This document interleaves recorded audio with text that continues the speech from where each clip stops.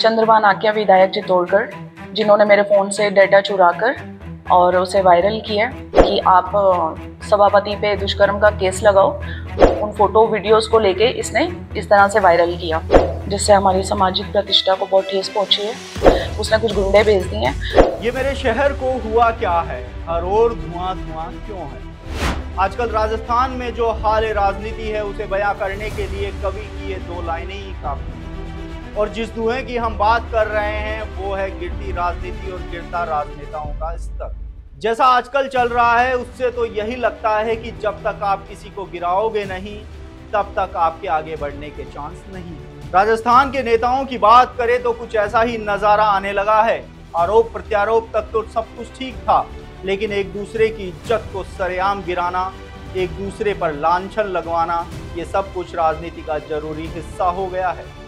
आज हम बात कर रहे हैं चित्तौड़गढ़ की, जहाँ के नगर परिषद सभापति संदीप शर्मा के साथ एक महिला के कुछ फ़ोटो वायरल किए जा रहे हैं। इसमें खास बात यह है कि इस महिला ने चित्तौड़गढ़ के ही विधायक चंद्रभान आख्या पर मोबाइल से फ़ोटो और वीडियो चुराने और एडिट करवाकर वायरल करने के गंभीर आरोप लगाए हैं। साथ ही ये महिला का आरोप है कि पहले आख्या ने महिला पर दबाव बनाया कि वह संदीप पर झूठा दुष्कर्म का मामला दर्ज करवाए। लेकिन जब बात नहीं बनी तो आख्या ने रच डाली चित्तौड़गढ़ की राजनीति को बदरंग करने की साजिश। चलिए, उस महिला की जुबानी ही आपको सुनाते हैं, कि सच्चाई क्या है। चंद्रभान आक्या विधायक चित्तौड़गढ़, जिन्होंने मेरे फ़ोन से डेटा चुराकर और उसे वायरल किया। और मोनिका जैन, दिलीप धाकड़, ये सब मिले हुए थे इन लोगों के साथ। और 29 अगस्त और 31 अगस्त को इन्होंने मुझसे प्राइवेट मीटिंग की है, अरावली रिसोर्ट में। पाँच पाँच घंटे की मीटिंग थी जिसपे ये पूरा दबाव डाल रहे थे और कि आप सभापति पे दुष्कर्म का केस लगाओ। और 31 अगस्त को इन्होंने मेरा फ़ोन लिया।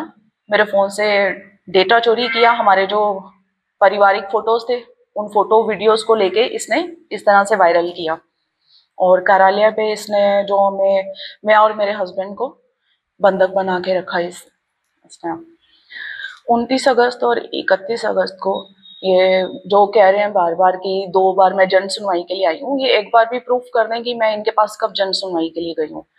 और 29 अगस्त और 31 अगस्त को ये अरावली रिसोर्ट में पाँच पाँच घंटे की इन्होंने मीटिंग की है, वहाँ पे ये दबाव डाल रहे थे मुझ पर कि आप इस तरह से सभापति पर केस, दुष्कर्म का केस लगाओ इसकी इस हरकत की वजह से मेरे, मेरी पूरी फैमिली पे बहुत बुरा असर पड़ा, जिससे हमारी सामाजिक प्रतिष्ठा को बहुत ठेस पहुँची है।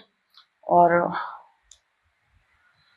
अरावली में सब होने के बाद इस ये हमें वहाँ से कार्यालय ले आए। वहाँ पे इन लोगों ने ऐसा माहौल बना दिया कि अ, कुछ लोग गुंडे आ रहे हैं और जो सभापति हैं वो आपको मरवाना चाहते हैं। उसने कुछ गुंडे भेज दिए हैं। ये बोलकर ये अपनी जो चंद्रभान आके अपनी खुद की प्राइवेट गाड़ी में हमें यहाँ कार्यालय में ले आए। और रात भर इन्होंने वहाँ पे ज़बरदस्ती तो पहले साइन करवाए एफ़ के पेपर्स पे और उसके बाद फिर ये ऊपर रूम में हमें इन्होंने बंद कर दिया। और कंटिन्यू कभी दिलीप धाकड़ और कभी चंद्रमा आके खुद आकर कि एफआईआर करो, वरना ऐसा ऐसा हम वीडियो ये फ़ोटोज़ वायरल कर देंगे। उस टाइम नेक्स्ट डे फिर हम लोग कैसे भी एक बहाने से कि सिगरेट के बहाने से हस्बैंड ने गेट खुलवाया और हम लोग कैसे भी वहाँ से निकले। और वहाँ से आने के बाद फिर दो तीन बार इनके दिलीप धाकड़ या इन सबके फ़ोन आए कि आप बात मान लो, वरना आपके साथ ऐसा ऐसा हो जाएगा। तो उसके बाद भी इनकी बात नहीं मानी कि ये जो केस, झूठा केस लगाने के लिए बोल रहे थे सभापति पे, वो नहीं किया। तो इन लोगों ने इस तरह से ये वीडियो और फ़ोटोज़ वायरल कर दिए, फ़ोन से डेटा चुरा के। और फिर हम लोग पुलिस स्टेशन गए। वहाँ पे भी कोई कार्रवाई नहीं की गई। तीन घंटे तक हम पुलिस स्टेशन बैठे रहे हैं। वहाँ पे कोई कार्रवाई नहीं हुई। फिर हमने कोर्ट में केस लगाया। अब पहले आपको समझाते हैं, चंद्रभान आख्या कौन है? ये वही नेता है जो पहले भाजपा से विधायक थे। फिर भाजपा के साथ उनका विश्वास कम हुआ। वो भी तब जब भाजपा के प्रदेशाध्यक्ष चित्तौड़गढ़ के सांसद सीपी जोशी थे। मगर आख्या को सीपी जोशी की तरक्की हजम नहीं हुई और अदावत छेड़ डाली। तो वहीं दूसरी ओर जिनके फ़ोटो वीडियो वायरल किए जा रहे हैं, वह सभापति लगातार चित्तौड़गढ़ के विकास को लेकर दिन रात एक कर रहे हैं। मगर आख्या को संदीप की जनसेवा से परहेज है और जब कोई राजनीतिक दाव नहीं चला तो आक्या ने संदीप की राजनीतिक हत्या करने की साजिश रचने का षड्यंत्र रच डाला। ये हम नहीं, बल्कि वो महिला कह रही है, जिनके फ़ोटो को एडिट करके वायरल किया गया। खैर, अब सवाल यह है कि जनता ने चित्तौड़गढ़ के विकास के लिए संदीप को कुर्सी दी और फिर चंद्रभान आख्या को कुर्सी दी। फिर चित्तौड़ का विकास छोड़ आख्या ऐसी घटिया राजनीति क्यों कर रहे हैं? इसका सवाल का जवाब शायद ही आख्या दे पाए।